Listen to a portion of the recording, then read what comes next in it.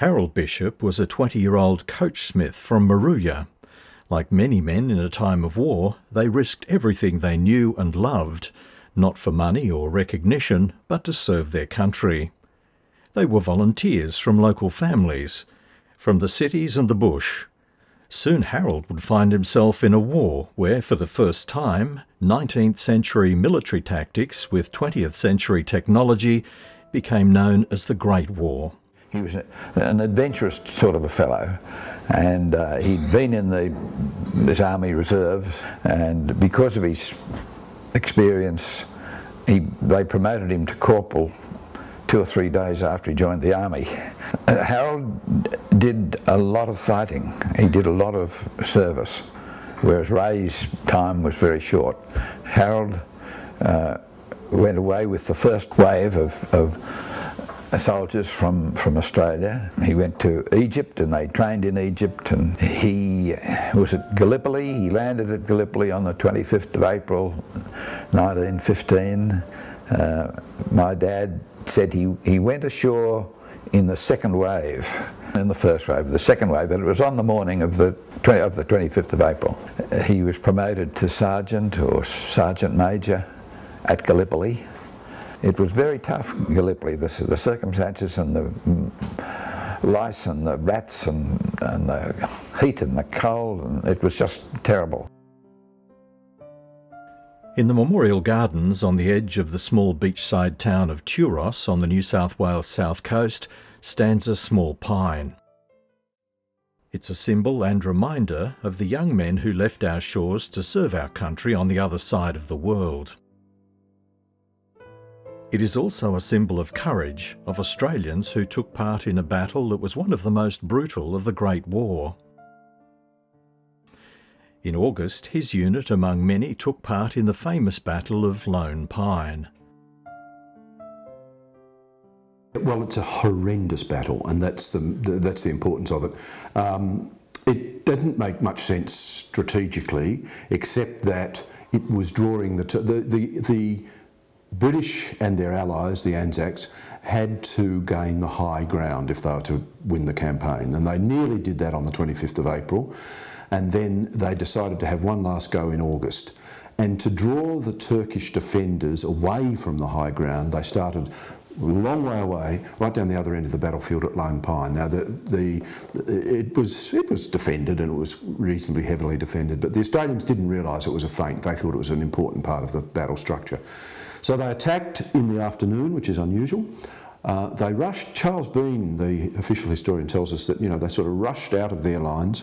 Some of them were in tunnels actually in the middle of no land's land, so they come out of the ground and ran towards the Turkish lines. And of course, the most dangerous thing to be doing.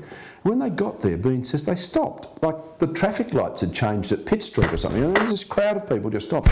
And that was because the Turks had lined the trenches with roof, that, uh, wood and mud and they had to pull the, them out and then jump into the trenches and start the fight. The fight went on for three days and three nights. Virtually underground, I mean, because the trenches were below ground. So they're fighting, and they couldn't really use rifles much because um, you'd, shoot, you'd stood a good chance of shooting your own side as much as shooting a Turk. And so it was bare knuckle fighting, um, using rifle butts as clubs. It was the, the most brutal fighting Australians have ever been involved in. I mean, hand to hand combat, actually. Three days, three nights, a lot of people killed. And the Turks withdrew when they could no longer bear to fight over the dead bodies of those who had already been killed.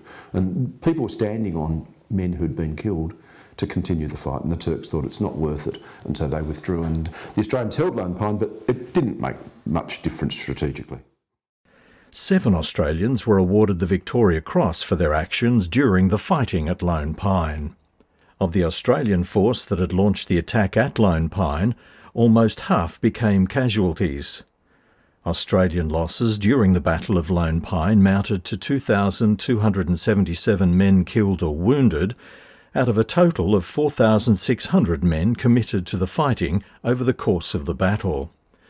Later, Harold Bishop was injured and missed the evacuation from Gallipoli and went on to join his unit in France to become yet another tragedy of the Great War.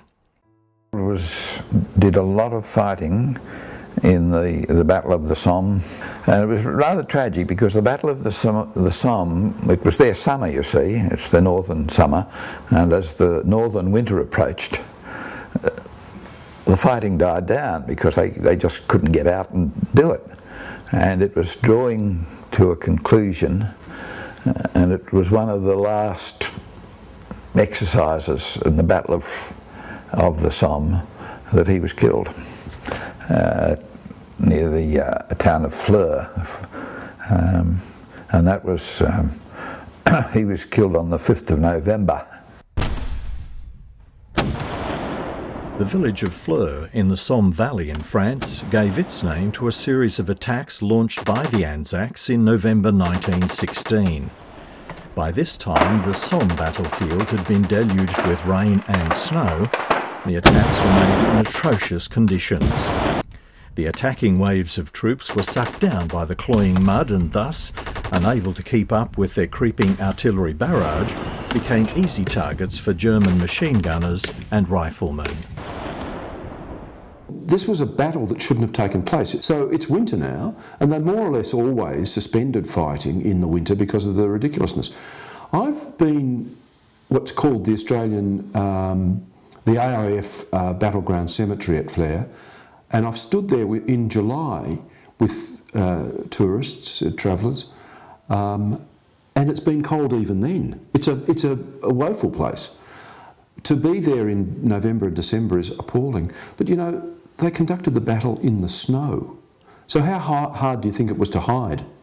Uh, and so were, uh, it was an unnecessary fight. It wasn't going to do much good at all. Um, but for some reason, the British ordered it, and, and so the Australians did it. As with many families in Australia, and indeed the Eurobodalla, Harold had a younger brother who also enlisted, Raymond Charles Bishop. A 90 year mystery lingered through the family generations. Being the next generation, I only remember him as a photo on the wall. And uh, I guess our generation didn't didn't puzzle about it that much. We knew it was there, we wish it was solved, but uh, we didn't have the same intensity of feeling, I guess, as his mum did and as his brothers and sisters did. Yeah, they always wanted to know. In 2013, the Bishop family invited Lambis Englezos, historian, to the Moruya RSL Hall to tell his story in finding Raymond Charles Bishop.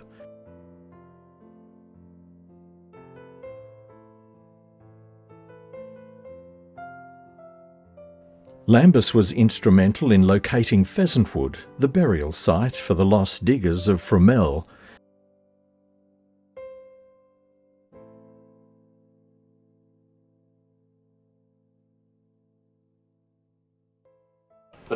Of July 1916, the very first time that Australia goes into battle on the Western Front. This is VC Corner Cemetery. It is a unique cemetery. There are no headstones here. In the grounds of the cemetery, there are 410 Australian soldiers, their bodies gathered after armistice. On the back wall of the VC Corner Cemetery is the honour roll to the missing of that one night's battle. Now this remarkable photograph, actually taken on the night of the battle. In some of the other photographs, you can actually see the shadows of the Australian soldiers as they advance across no man's land and as they huddle in the first German line and beyond. The whole idea of the Battle of Fromelles, it was a feint, try and fool the Germans into thinking there was a major attack going to happen here so that they couldn't reinforce down on the Somme where the major battle had already begun and where Australians would attack on the 23rd of July at Pozières. So this was Haking's grand plan, try and fool the Germans into thinking there was a major attack going to happen here. We outnumber the Germans two to one. However, they have every advantage. The Germans have been here for a year and a half. The Australians have been here for one week. Brigadier General Pompey Elliott, an experienced Boer War and Gallipoli veteran, who was in charge of the 15th Brigade on Gallipoli as a colonel to the 7th Battalion, his member awarded VCs at Lone Pine. He, uh, he saw the folly of this whole engagement and he had one of Haig's staff come down to view the battlefield before and uh, he asked uh, this Major Howard, what's going to happen here? And the Major turned to Pompey, the Brigadier General, and said, I believe it will be a bloody holocaust, especially for the 15th Brigade. So he urged him to go back to tell Haig, to tell Haking to at least postpone this battle. We weren't ready for it. However, at, uh, on the 19th of July at 6 o'clock, the Australians and the British attacked. The Battle of Fromelles was the worst day in Australia's history, bar none. 5,533 killed and wounded in the worst 24 hour period in Australia's history, a senseless slaughter led by the British commander, General Haking. Now, it is very easy sport, very easy Australian sport to denigrate British generalship. The notion that they're 12 k's back, sending men to their deaths without really caring or doing their, their preparation carefully. This person up here is Sir Richard Haking. He was in charge of the Battle of Fromelles. He was in charge of uh, the Battle of Aubers Ridge, the previous year's battle, fought over the same ground along a more extended front, which met with similar results. He even ordered the shelling of no man's land after the battle, ostensibly to stop any German counterattacks, but he must have known it would have been full of his own wounded men. His own British soldiers gave him the title of Butcher, Butcher Haking. However, the real reason why we like this photograph is this chap over here. History, like research, is fluid and ongoing. One day we'll find out who he is. He does have an excellent moustache. so uh, we think he might be Hercule Poirot's uncle, but uh, we will find out who he is. But Butcher Haking, he was in charge of the Battle of Fromelles. I would have court-martialed him. And Pompey Elliott would have court-martialed him too. And Pompey Elliott, who was commanding um, uh, a, an Australian outfit uh, brigade, uh, knew that if the plan was given to him that it couldn't succeed and that would result in murder. And that's what happened. 5,500 Australians became casualties at Fromelles overnight. Ross McMullin, in his wonderful book on Pompey Elliott, uh, argues that that is probably the single worst day ever in Australian history. Not Australian war history, in Australian history. It is the day of the greatest tragedy Australia ever endured for nothing. And the thing that annoys me about Haking is that despite that disaster and ill-conceived and criminally ill-conceived plan, he wasn't sacked. He was allowed to keep on going. And that shows you how reckless and careless British generals were in relation to the lives of men that they should have been caring for. And the one great difference between Australian commanders and commanders of other armies is that Australian commanders, and I don't care whether it's the First World War or the Vietnam War or any war in between or thereafter, Australian commanders have always been intensely aware of the fact that war will kill some of their men and they have always been determined to limit the loss as much as they could. I read recently a wonderful book by an Australian General, John Cantwell, who served in Afghanistan. Um, and he personally identified every one of his soldiers who were killed in war, personally identified them, and personally attended, even though on two, I think two occasions, but certainly on one occasion, he was back in Australia. He flew back to Afghanistan so that he could be at the, at the point where the, the body was, was loaded onto the aircraft for return to Australia. That was his responsibility as the commander. And Australian soldiers have always been like that. And yet Haking recklessly threw away the lives of a couple of thousand Australians and made the entire 5,500 endure agony which was unforgivable. Ask me about Sir Richard Haking, you won't get a very nice response. Now, one of the tragedies of Fromelles was the fact that we knocked back the offer of a truce the morning after the battle. The dead and the wounded could have been gathered. However, the Australian General, General McCay, said no to that offer of a truce. In the days after the battle, Sir Richard Haking is heard to say it has probably done the Australians a great deal of good. But perhaps even worse, the Australian General, General McCay, the general who knocked back the offer of a truce, he could have shown some compassion for his men. Certainly might not want to show any weakness in the face of the enemy, but he could have made a general's decision, a compassionate decision to allow the truce. The dead and the wounded could have been gathered. He was heard to say that they'll get used to it. What a thing for a general to say about his own men. Absolutely incredible. He didn't call a truce because, in fact, there was now doctrine on that, and uh, he couldn't have. I mean, it's not possible. Um, you, you, you probably you know of the Christmas truce in 1914. The, the, British decided this was hopeless for morale. Now, just look at what happened when they called a truce on Gallipoli. The Australians and the Turks got to know each other and got to like each other. And that's not very good if you've then got to get back into the opposing trenches and fight, which they did, of course, because they were loyal and, and they believed that that was the job they had to do. But I can see uh, why he wouldn't have been able to do that, to have a truce to, to bury the dead. And, you know, their bodies were never recovered until after the war. It is just sickening. They were just lying out there. But that doesn't excuse what he said, nor does it excuse when he's at the Battle of Krithia and he yells at them. He gets out of the trench and yells at them, come on Australians, come and die. You know, a man of great sensitivity. He was a very well qualified man. Uh, he, I think I think he was shot three times on the 25th of April. One bullet passed through his, his cap, one bullet was stopped by his diary. So it wasn't that he, he was prepared to lead from the front, but he, he didn't have the respect of the troops. Uh, probably after about two days on Gallipoli, and certainly not after Krithia. Certainly not after Krithia. And what he was doing at Fromelles didn't matter. He wasn't in charge. The man who mattered for the Australians was Pompey Elliott, and at least he had the grace and decency to be in tears when the, the, few returning men were coming back. And Charles Bean caught up with him the next morning. Bean had been down, he didn't even know the battle was going to take place. Nobody bothered to tell him. So he, as soon as he heard about it, he rushed out from breakfast and hopped in a car and went up to Fromelles. And he came across Pompey Elliott and he writes in his diary, Elliott had the look of a man who had just lost his wife.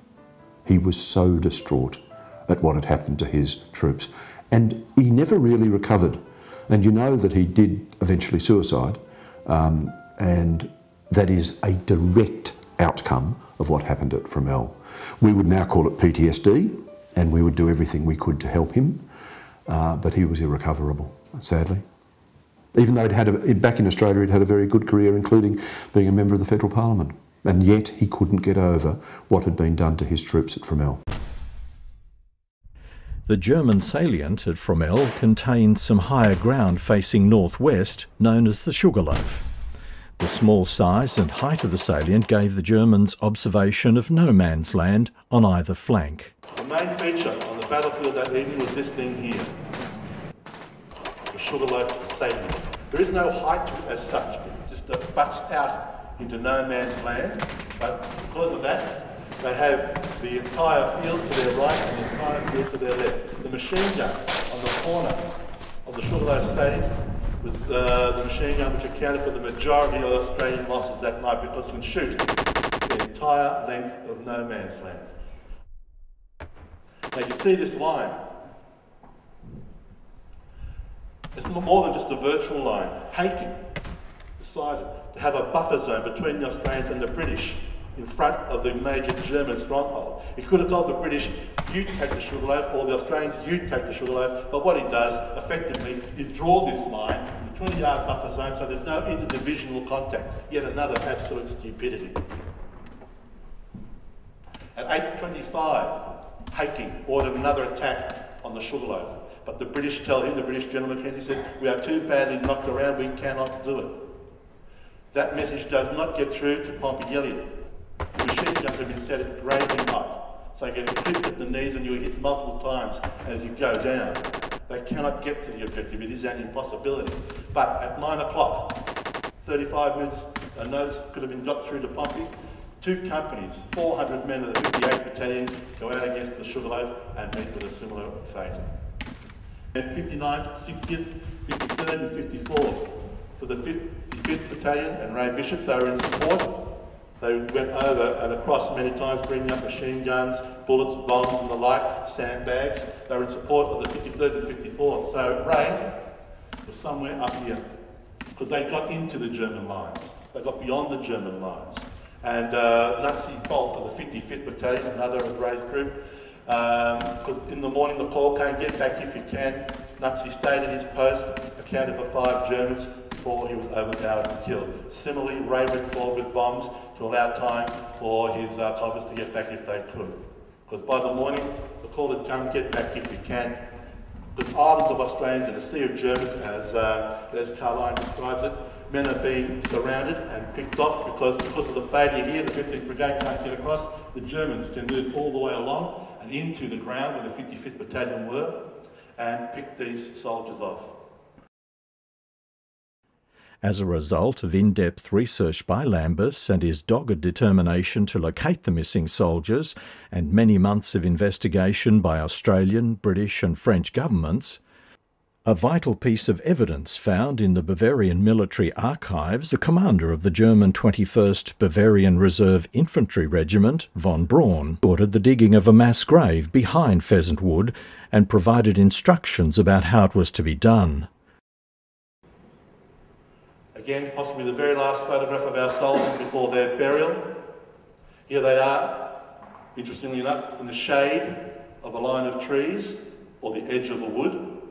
As you may have noticed, many of these soldiers have been covered by German sheets to protect them from the sun. They must get these bodies underground for health reasons alone. They must bury these bodies. But here, I sent away to London to the Imperial War Museum to get uh, photographs looking for anomalies in the ground behind the German lines. 17th of June 1916, there's that light rail cutting through the corner of the wood, and before the wood, absolutely no digging at all. Then, 10 days after the battle, clear evidence of sustained earthwork.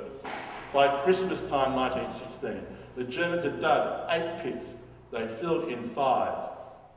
By the end of the war, when the villagers come back, they see the three empty pits, expunge the memory of the war, get on with their lives. They fill in those three empty pits, unaware of what might be in the, in the ground very close by. Here we have a close-up of the 1918 photograph, the end of the war. I believe you can detect some height in the two pits closest to the wood. Here we have a modern-day photograph of the site. Some undulation in the ground, not empirical evidence in itself, but um, eventually we were invited to Canberra uh, to make our case to an expert panel of historians and military people. And uh, we made our case, suggesting that um, those pits were possibly and most likely to be uh, burial pits. Some of these experts said they're probably gun pits. Now, again, I'm not a military man, like the Sugarloaf salient. I don't know why they didn't isolate that with continuous shell fire. But here, I can't see how or why you'd build a gun pit so close to the edge of a wood with a clearance of a metre and a half. It just didn't seem to make sense. Then uh, I read through all 1,336 files to the missing in the Red Cross files. And in this particular file, Jack Bowden's file, the only one in all 1,336 that mentioned a place called Pheasant Wood.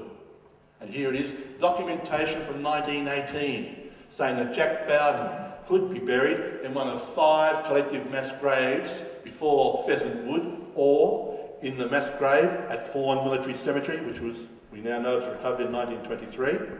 So here's documentation saying that he was buried at Pheasant Wood.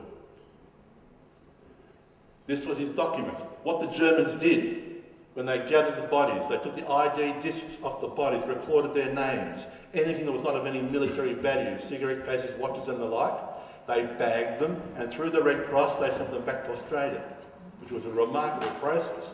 What it did, it gave us the names of the soldiers that they had buried. In the case of Jack Bowden, told us where they'd buried them. Well, after they'd discovered the, the, the, the mass graves and they'd confirmed that, that there were bodies there, and um, after a long battle Lambis finally got people to accept that, the authorities. Then the question arose, do they exhume the bodies or do they let them stay where they were? And that, that's an interesting question in itself. Um, at one of our family reunions, I remember we were having dinner one night and there was about 20 or 25 of the fam extended family members there. And um, Uh, I was just giving them an update on the Fromelles story and, and Ray, and I made the point that they'd been discovered, but the question would arise, should they, the bodies be exhumed or should they be left to rest? And I asked for a show of hands and everybody voted in favour of leaving them where they were, except one, and that was Uncle Bill. And when I looked around the room, I realised that Bill was the only ex-serviceman in the room from World War II. Um, a week or so later, back home, um, at our Probus Club, and I'd been keeping the Probus members up to date on the Fromelles story, and I posed the same question there. And the whole club voted in favour of leaving them there, except three or four. And when I looked at those three and four, they were all ex-servicemen from World War II. And I thought, they might be in the minority, but I think it's the right thing. So at that point, I changed my mind. And I was in favour of them being exhumed and given their own point. And Lambis had that view all along. He must have been smarter than I was, because I... But that was the point when I changed my mind. They also found uh, in the German archives in Munich a document dated two days after the battle in which it said, you will dig before Pheasant Wood for 400. So there was no more evasive smoke. It wasn't a gun pit. It had been used for burial purposes. If it hadn't been recovered, clearly the men were still there. Me, with my clever technology, it's about all I can handle. This is always going to be Plan 61B, Peter Rees, but having followed due due and official and careful process, we didn't require to go to Plan 61B. Plan 61B, I go to Le Bunnings in Paris and get a shovel, a flashlight, a balaclava and a good French lawyer. However, that wasn't necessary. The Australian government had engaged Tony Pollard to go there with his clever technology, that is ground penetrating radar. They sent pulses into the ground and they used sophisticated metal detectors. January the 30th, 2010, they built a brand new cemetery. The Pheasant Wood site was uh, too water prone, so they built a brand new cemetery very close to the village. On January the 30th, 2010, the very first of the burials. Here we have one of our own carried in by his own to his dignified burial. Over a three-week period, they buried 249 soldiers. They held one soldier over for ceremonial burial on the 9th of July 2010, the anniversary of the battle, the day that this cemetery would be opened, inaugurated. A newly formed task force created by governments of the day and organisations to oversee an archaeological evaluation of the suspected burial sites and eventual exhumation and reburial of the lost diggers of Fromelles.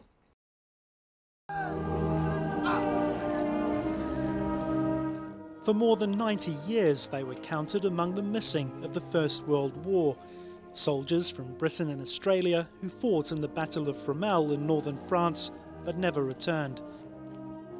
Now, some of those recently discovered in a mass grave have been given a proper burial, and on the anniversary of the battle, families gathered to open the cemetery where their relatives have now been laid to rest. The Battle of Fromelles was short and brutal, an assault on German frontline positions that cost the lives of more than 7,000 Allied troops.